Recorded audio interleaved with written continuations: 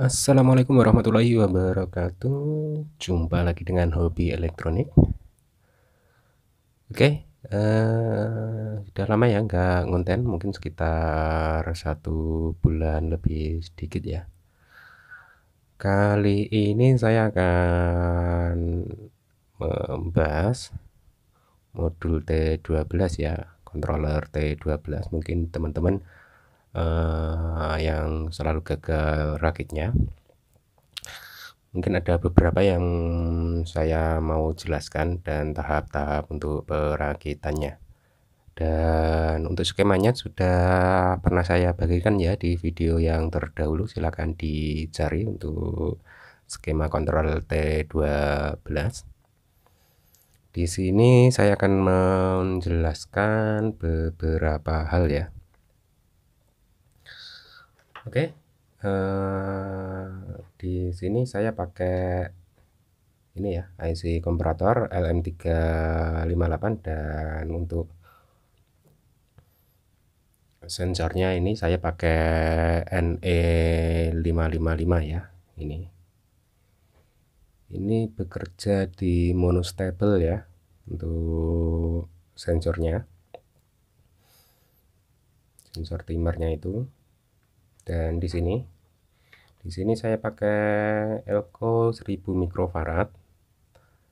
Eh, di skema itu 470 ya. Eh, sebenarnya Elko ini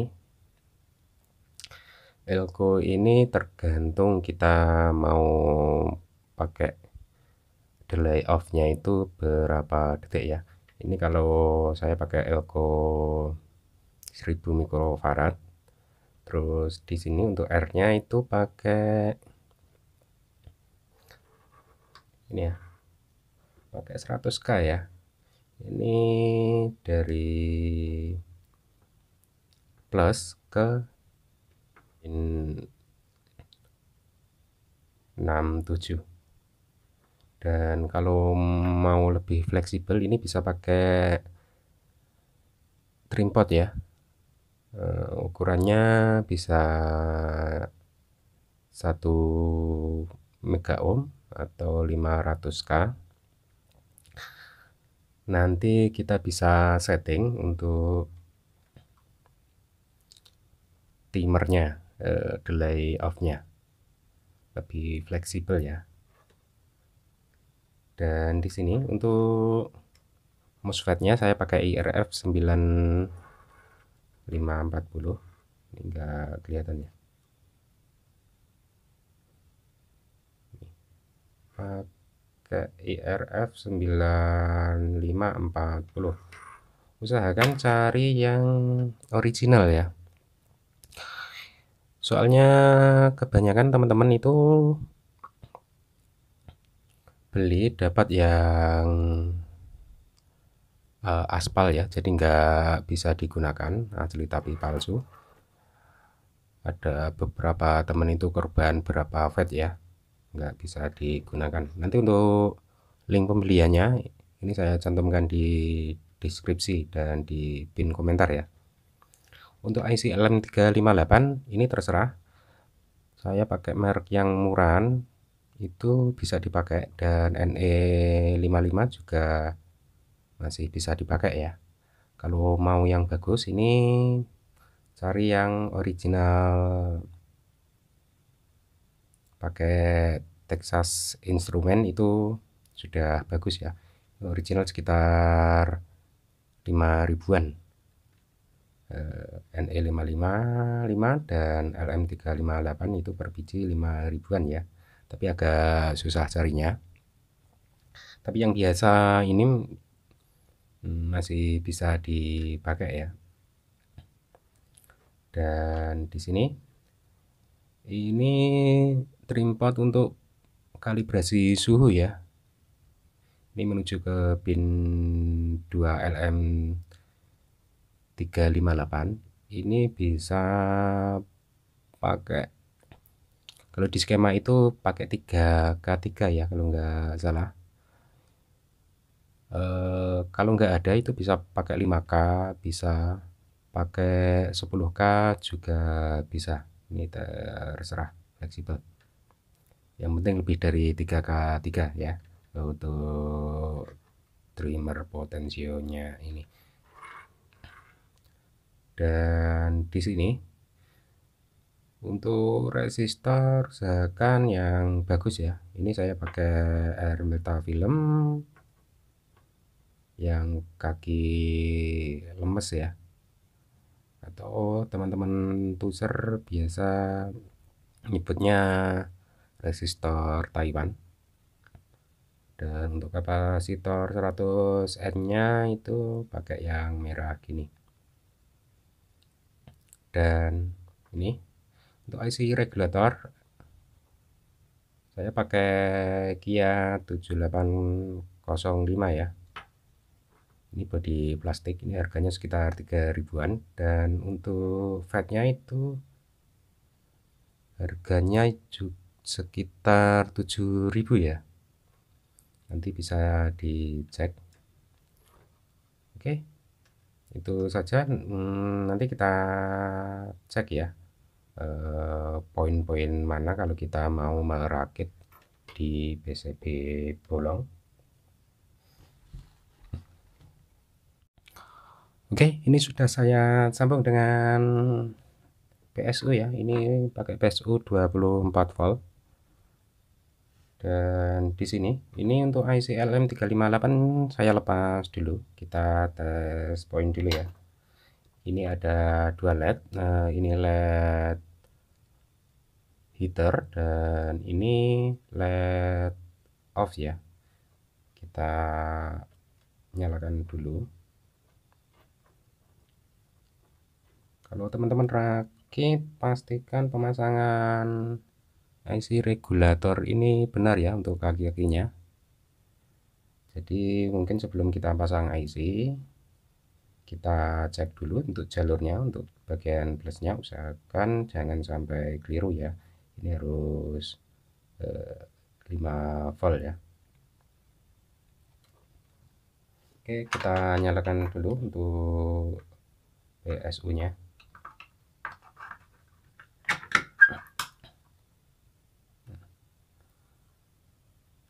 oke. Ini tanpa LM358 ini nyala semua ya.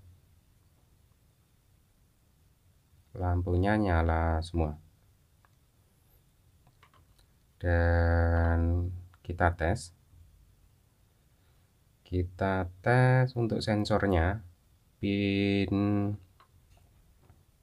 2LM eh, pin 2NE555 ini bagian sensornya ini.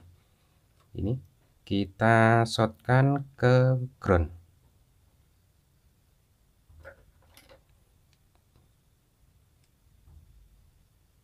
Nah, oke. Ini uh, LED indikator off mati. Kita tunggu beberapa saat sekitar satu menit lebih ya. Ini soalnya agak lama. Kita tunggu sampai menyala.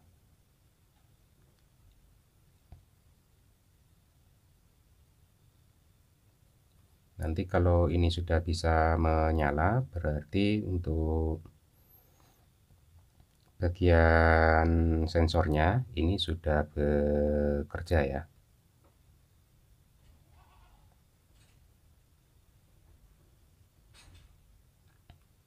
kita tunggu dulu. Ini tanpa saya skip ya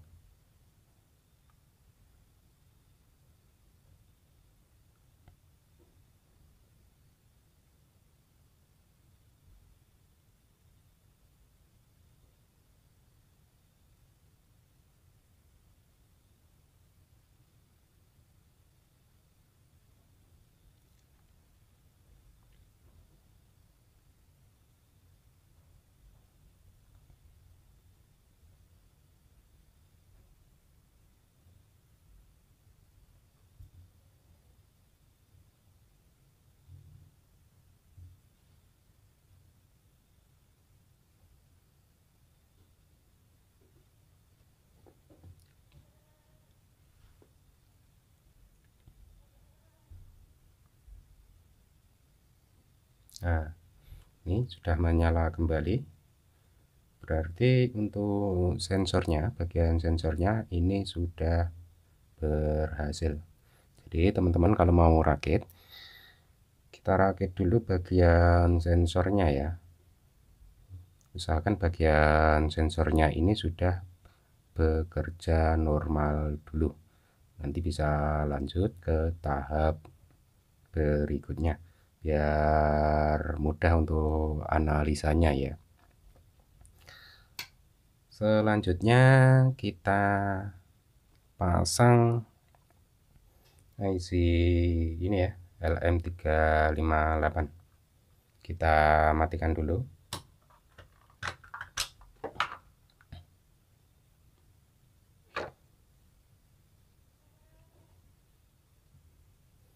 ini jangan sampai kebalik untuk kaki-kakinya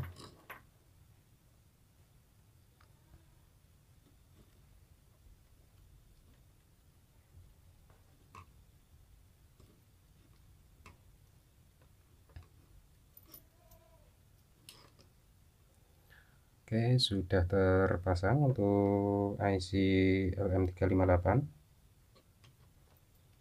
dan kita nyalakan kembali. Nah, ini kalau kita pasang eh, ini ya lampu heaternya ini yang warna hijau ini ini mati. Lalu kita pasang bagian LM358 kemudian kita pegang. Ini kita pegang body fat atau jalur plus heaternya. Ini LED menyala ya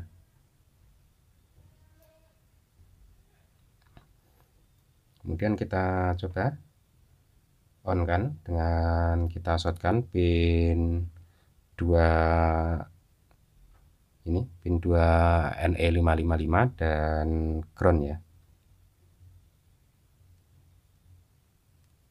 Nah ini lampu sensor mati lampu heater juga mati ya. Karena ini belum kita pasang elemen jadi untuk lampunya ini belum menyala ya. Coba kita pasang.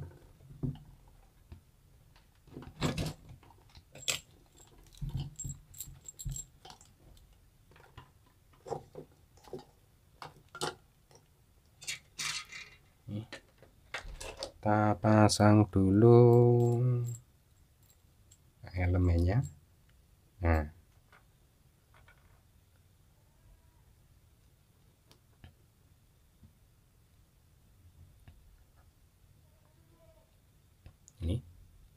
Ini. Berarti sudah bekerja ya.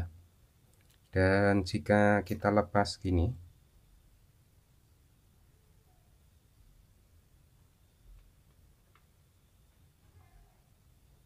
nah, kita lepas gini.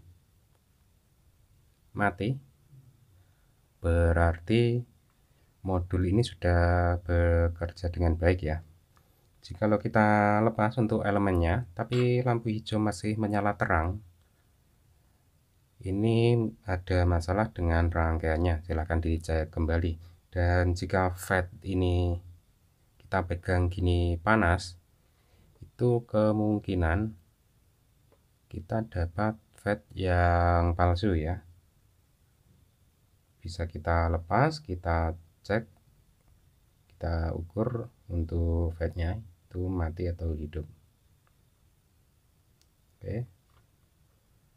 Dan untuk kalibrasi untuk kalibrasi ini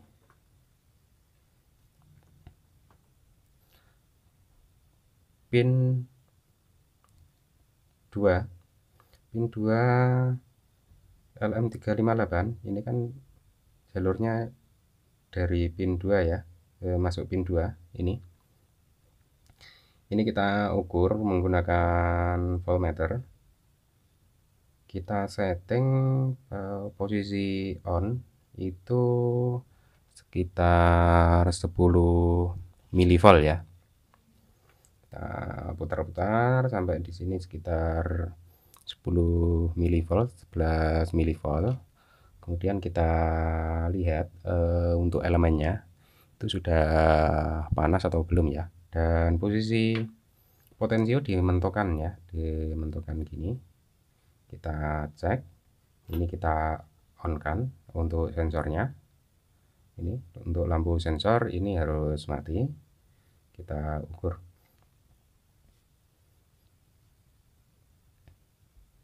nah kalau sudah sudah gitu tinggal kita lihat ya perubahannya.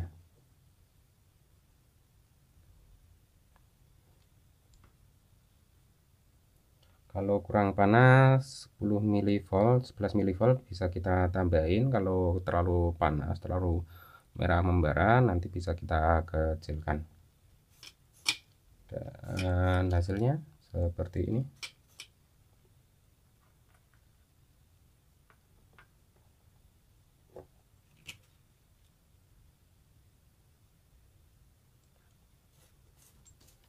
Ini rangkaian sudah bekerja ya.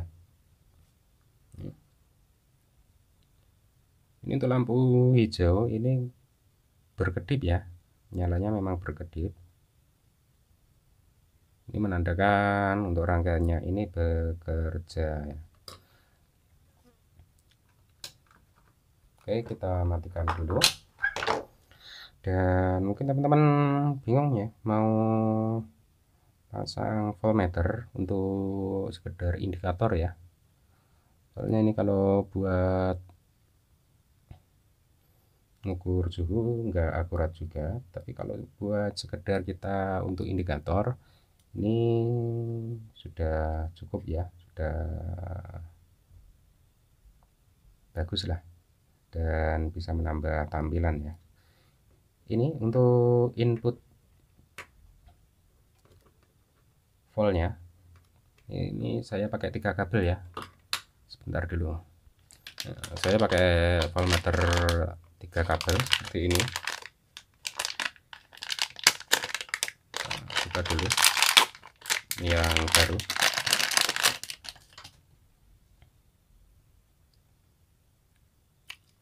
Pakai tiga kabel yang model ini. Seperti ini ya. Nanti untuk link pembelian voltmeter yang model ini saya cantumkan di deskripsi. Nah, kabel warna hitam ini ke ground ya. Kabel warna hitam ke ground plus ke PSU 24 volt ya. Dan kabel putih. Kabel putih itu masuk sini. Masuk bagian setelah potensio sebelum trimpot ini ya untuk kabel putih ini nanti kalau kurang jelas bisa tanya di komentar ya. Dan voltmeternya ada sedikit modifikasi ini. Biar bisa baca sampai sekitar 5 volan ya 4 volt lebih. Soalnya untuk output dari NE555 ini enggak sampai 5 volt ya.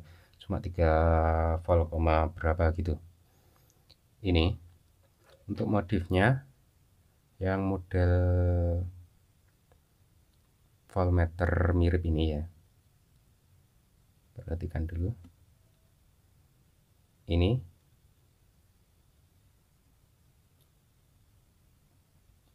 Kabel putih ke sini. Ini kasih resistor 100k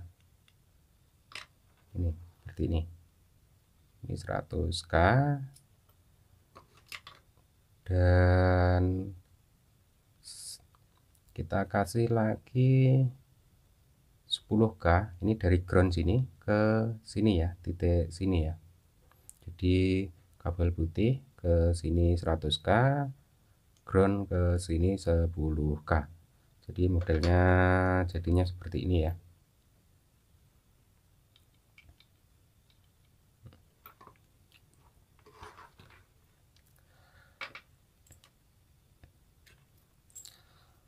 Oke, eh, sekian dulu eh, penjelasan tentang modul T12 analog ya. Dan ini PCB masih trial, belum fix. Ada beberapa jalur ya yang kurang pas, jadi agak agak wel-welan ya istilahnya tapi eh, sudah bisa dipakai ya. Mungkin teman-teman mau pesan modul jadi tapi PCB nya ya model gini.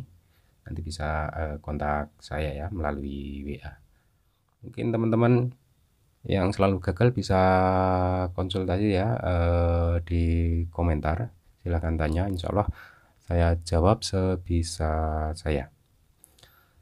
Sampai jumpa di video selanjutnya Wassalamualaikum warahmatullahi wabarakatuh.